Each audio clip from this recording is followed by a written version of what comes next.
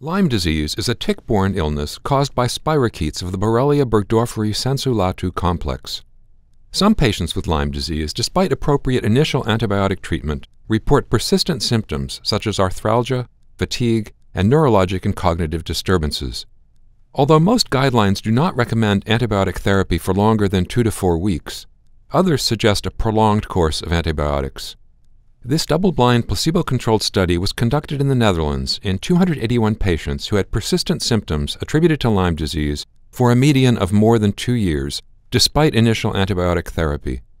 All of the patients received two weeks of intravenous ceftriaxone and then were randomized to receive 100 milligrams of oral doxycycline twice a day for 12 weeks, 500 milligrams of oral clarithromycin and 200 milligrams of hydroxychloroquine twice a day for 12 weeks, or placebo twice a day for 12 weeks. There were no significant differences between groups in the primary outcome of health related quality of life at the end of treatment, as determined by the Physical Component Summary Score of the SF 36 Health Status Inventory. Those scores also did not differ among groups during a follow up period of up to 52 weeks.